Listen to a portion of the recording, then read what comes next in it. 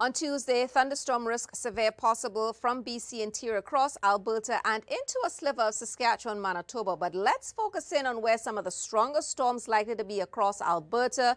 You can see there the potential from Drayton Valley, Edmonton up toward Fort McMurray, large hail, strong winds, and even the potential for supercells or rotating storms. So we'll have to watch that.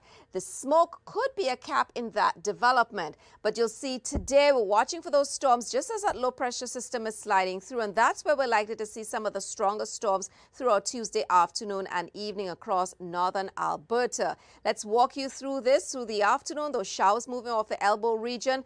There you can see Edmonton, north and east, the greatest risk for some of those stronger storms that could bring some large hail and some gusty winds. By Wednesday morning, rain coming off the foothills for us. And then as we continue into the afternoon, showers and again, the risk for storms most likely around the border with Saskatchewan. But this, of course, causes much needed rain for the wildfires that have been ongoing across the region.